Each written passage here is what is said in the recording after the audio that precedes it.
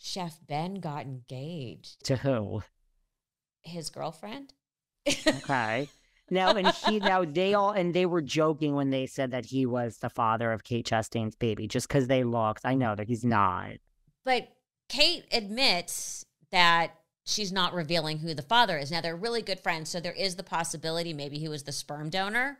But I also do think that it it, it keeps interest in them because Ben now is like a big caterer, private chef. You can hire him to do things like that. I would do. Like I want to have the chef Ben experience.